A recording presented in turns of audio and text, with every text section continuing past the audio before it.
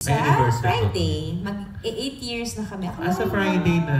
Hmm. Tapos mag-birthday ka na, di ba? Malapit. Mm, 25 na ako. Oo, so may rampa ulit kayo? Ah, mag-i-Italy kami. Ay, lapit lang Oo, ah. so, ano ko, isang sakay lang. So na-plan nyo na yan, Mars? Tapos inano mo na na mag-leave ka muna from dito sa show mo? Um, in, before pa dumating, dumating ang, before pa kami maglatagan ng bet, naka-schedule na siya. Yung friend namin, yung best friend, yung stylist ko, ikakasal din kasi sa Italy. So, uh, actually, yun naman talaga yung rason.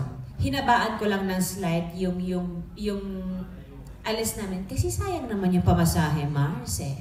Diba? Correct. Yung babiyahe, tapos pamasahe.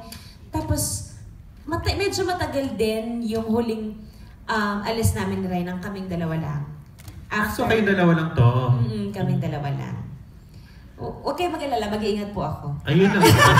Alam ko na yun, naramdaman ko na yung susunod yung Ayun na itatanong. nga. Unahan ko po kayo, mag-iingat po ako. Oo, ito na. Eh kasi nga, di ba si, sa, ano, kawawa naman si Lucho. Siya lang yung nag-iisang boy, di ba? Yung dalawa, yung dalawang girls. So, bet, naman silang boy ni Ryan, tapos yung aso naman namin hindi, ka, lalaki. eh wala siyang baby bro.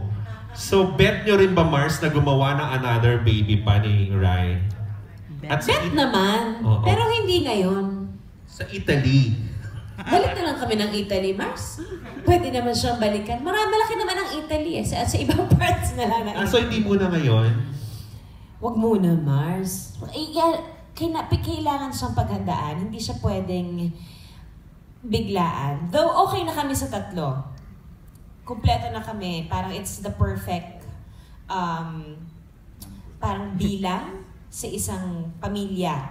Three is enough. Kung i-bless kami ni Lord ng isa pa, without really, you know, trying, ibig sabihin, para siya sa amin. Kung hindi naman, okay lang din. Ibig sabihin, dapat tatlo lang kami. Tatlo lang ang supling namin para mabigyan namin ng proper attention ang bawat isa sa kanila. Nag-work sa amin yung five years apart. Mars, kung bibilang natin, five years apart, ito po yung mga kaibigan, ano, five years apart. By then, mga 44 na ako, mahihirapan na ang matres ko. Uy, pwede So, pa yung 44. Oo, Mars, pero mahirap magpapayat eh. Doon tayo sa pagpapapayat factor. Si Janet Jackson, di ba 50 ba? Hindi ako si Janet Jackson. Si Mars. Judy Ann ka, no? Jody Ann lang ako. I'm not a Jackson. So, Bakit kailangan 5 ang ano, age gap, Mars? Pwede namang 2. nagkataon lang. Nagkataon lang na five. Pero nag-work sa amin yung five kasi si Johan nilagaan si Luna. Si Lucho wala nang selos kay Luna. So, alam mo yun, yung nagkakamisan na silang, yung age gap nila, it's it worked for us. And at the same time, hindi din yung ngarag pag lumalabas ng bansa or umaalis or namamasyal kasi meron ka ng katulong magpalit ng diaper, may katulong ka ng gumawa ng gatas, may nauutusan ka na. Oo, pero minsan naisip niya rin na, ay oo nga, sana may boy pang isa, no? Para balaan. Ako, naku, kung si Ryan baka himatay pag nalaman to. I'm sure malalaman niya to sa YouTube. Ano yan? Ako, ma- okay din may isa pang boy. Kasi ang lambing-lambing talaga ng boy. Kasi pag girl, daddy talaga eh. Pero, masaya, mas, si Lucho fills me with so much love. Okay, ano na, parang buong-buo ako kay Lucho.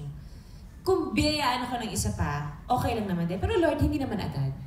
So, wag sanang digital ang sagot. Okay lang na mahina ang internet natin sa Pilipinas. Huwag mong daanin doon. Medyo tagalan natin ng slide. Hindi ko naman, hindi naman namin nakaplano na magkaroon ng fourth baby. We're more than okay with three. Okay na muna yun. Ipon-ipon mo na Mars. Bawi-bawi din. Thank you, Mars. Thank you.